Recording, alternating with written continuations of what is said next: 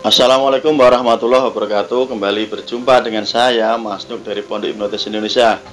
Bagi sahabat semua yang sudah subscribe di channel kita ini Saya ucapkan banyak terima kasih sekali. Dan buat anda yang belum subscribe Silahkan anda subscribe dan juga tekan loncengnya.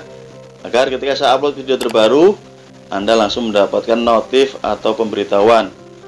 Dan juga tak lupa Saya pribadi mengucapkan beribu-ribu terima kasih Buat Anda yang sudah tergabung di kelas pelatihan hipnotis jarak jauh Silahkan buat Anda yang ingin mempelajari tentang ilmu hipnotis, ilmu hipnoterapi Anda bisa hubungi nomor WA yang saya berikan di kolom deskripsi dan juga di kolom video. Nanti Anda bisa menghubungi langsung.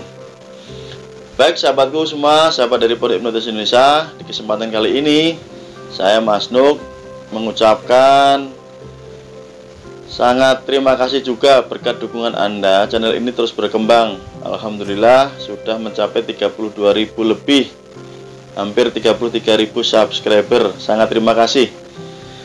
Oke langsung saja. Di episode kali ini Kita akan membahas tentang Ilmu hipnotis. Karena ada beberapa pertanyaan yang masih saja Belum dipahami satu, hipnotis dari sudut pandang agama. Nah, tadi ada yang komen seperti itu di kolom YouTube. Baik teman-teman, sahabatku semua.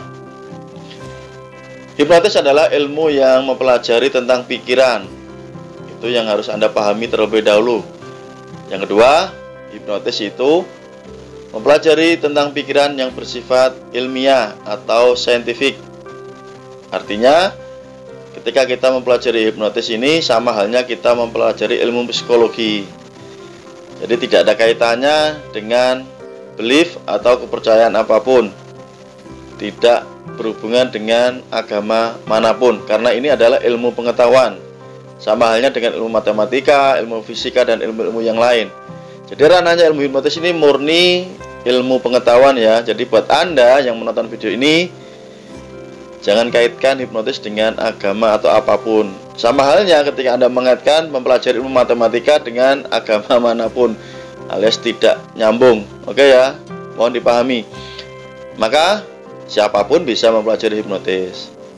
Baik itu yang beragama Islam, beragama Nasrani, Hindu, Buddha, Konghucu, bahkan yang tidak beragama atau ateis tapi percaya dengan Tuhan gitu loh ya.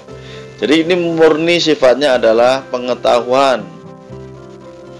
Kita dibekali oleh Tuhan dengan pikiran.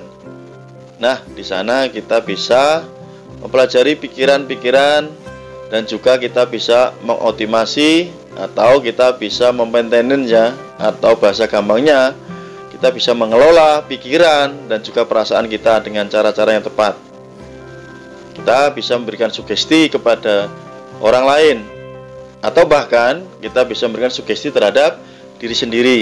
Kalau diri sendiri ini sering dilakukan adalah self hipnoterapi atau self hypnosis, yaitu kita bisa melakukan proses hipnotis terhadap diri sendiri. Nah, bagi orang lain yang diberikan sugesti ini tentu manfaatnya besar sekali. Salah satunya adalah ketika kita melakukan yang namanya proses healing. Healing itu apa? Healing itu adalah penyembuhan dari berbagai hal yang bersifat psikosomatis. Psikosomatis itu adalah penyakit fisik yang disebabkan oleh pikiran. Karena tidak semua penyakit fisik ini sumber masalahnya ini adalah benar-benar murni karena penyakit. Namun dari penelitian Didapatkan data bahwa hampir 90% ini penyakit ini bersumber dari pikiran. Misalkan Anda stres begitu ya karena masalah pekerjaan, masalah ekonomi dan lain-lain, berakibat mungkin jadi kepala Anda pusing, asam lambung naik dan lain-lain. Ketika Anda memeriksakan ke tenaga medis, dikasih obat, nah apa yang terjadi? Obat tersebut tidak bekerja dengan maksimal sebab Obat tersebut menyembuhkan bersifat fisik, yaitu misalkan memperbaiki saraf-saraf fisik. Pertanyaannya adalah, Penyakit tersebut timbul karena pikiran. Jika akar masalah dari penyakit tersebut tidak ditangani, tidak diselesaikan dengan baik, maka dia akan sulit sembuh. Salah satu metode yang efektif adalah kita menggunakan namanya hipnoterapi. Sebab apa? Dengan hipnoterapi ini kita bisa masuk ke pikiran bawah sadar orang. Ingat di pelajaran-pelajaran kemarin banyak saya bahas bahwa Pikiran bawah sadar manusia ini menyimpan yang namanya long term memory atau memori jangka panjang. Orang-orang yang mengalami trauma, orang-orang yang mengalami fobia atau kejadian-kejadian masa lalu yang tidak menyamankan pikiran dan perasaan, kalau Anda tidak cerdas, maka akan dibawa ke masa sekarang dan masa yang akan datang.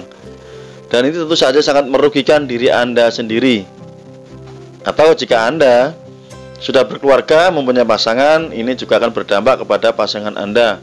Jika Anda sudah punya anak, itu pun jika Anda tidak mampu merilis pikiran-pikiran tersebut, sangat berpengaruh terhadap pasangan Anda, keluarga Anda, dan orang-orang yang Anda cintai.